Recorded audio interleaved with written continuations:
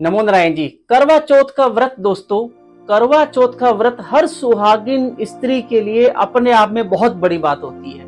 आज मैं इसी के ऊपर आपको एक ऐसा महा उपाय बताने जा रहा हूँ, वो हर सुहागिन स्त्री करे जो ये व्रत करवा चौथ का करने जा रही है।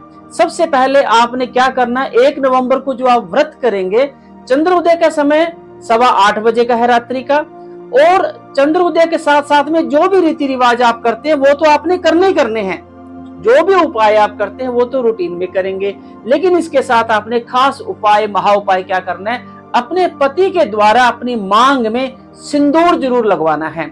इससे इस बार क्योंकि सर्वार्थ सिद्ध योग है और बहुत बड़ा महाशिव योग है और तीन प्रकार के इस बार योग है। सर्वार्थ सिद्ध योग बुधादित्य योग और शिव योग, ये तीन योगों को मिलने से इस बार अगर पति के द्वारा सिंदूर मांग में भरा जाता है तो बहुत ज़्यादा शुभ फलदायी रहेगा, प्रेम प्यार बढ़ेगा।